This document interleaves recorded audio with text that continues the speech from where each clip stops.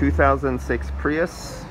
So, sad news on this one. I thought I was going to do somewhat of a video, but it's going to be really short because this compressor makes a noise on this 2006 Prius.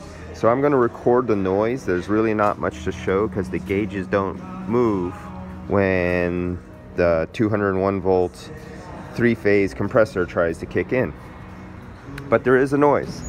And I've recorded a couple other noises before and posted them on videos and this is another noise that it makes when trying to engage.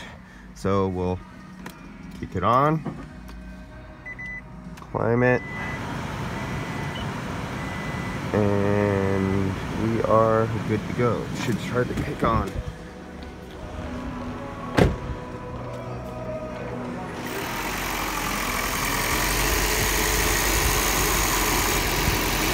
Okay, what we're gonna have to wait for, it'll might engage while the engine's running, but then it might engage right, right after the engine goes off.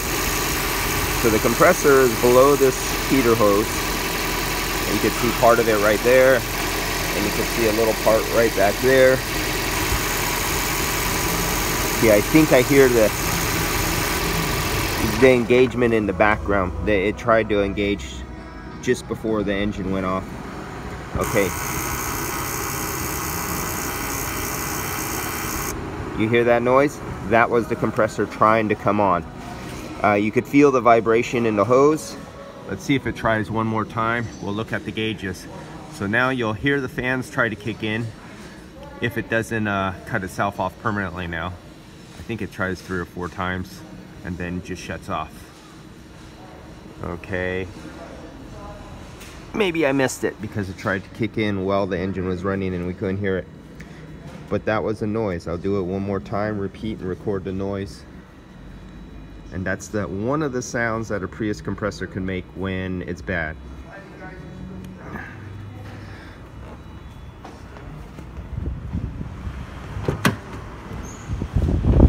Cycle it off we'll cycle it back on and go out there and see if we can catch it That was one. I just heard one as I was walking up. The fan cycled. Let's watch it again. Now listen. There goes. Nothing.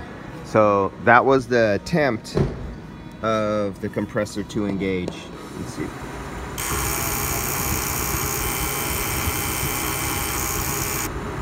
All right, that's about as long as this video needs to be. It was just, this is just one of the sounds that a three-phase electric compressor can make when it's failed.